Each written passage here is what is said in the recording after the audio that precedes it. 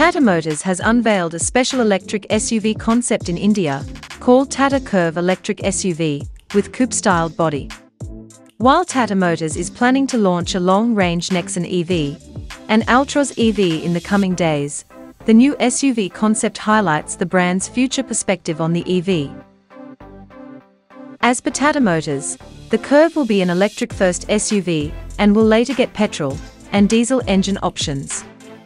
Tata Curvv is designed with a coupe roofline and is an evolution of Tata Sierra EV concept showcased at the Auto Expo 2020. As per Tata, the Curvv will be placed above the midsize SUV and below the premium SUV segment. In its second gen, it can have a range as high as 500 kilometers on a single charge. The Curvv has been designed to offer the best possible balance between appearance, performance, and practicality. The overall shape of the vehicle reminds us of the Renault Arkana and the likes, though we have to admit the shorter overhangs make it look sportier than its European competitors. With this being a concept, there are no door handles and small cameras, replace the side mirrors. One certainly interesting design feature is the LED strip at the back, which follows the shape of the rear window. Above it, there's a split design spoiler which acts as a separator between the boot lid and the panoramic roof. Just below the innovative light element, there's another LED strip connecting the tail lights.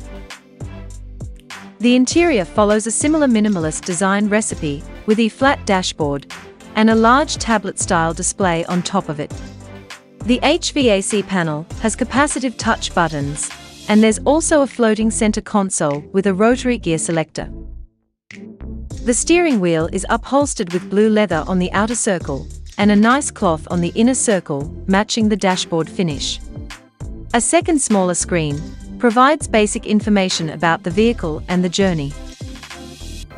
Tata says the production version of the Curvv concept will be launched within the next two years, with the first to arrive being the all-electric version.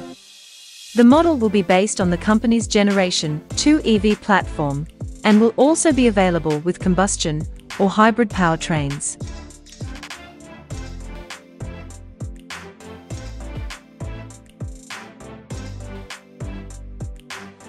Thanks for watching, and give your comments below.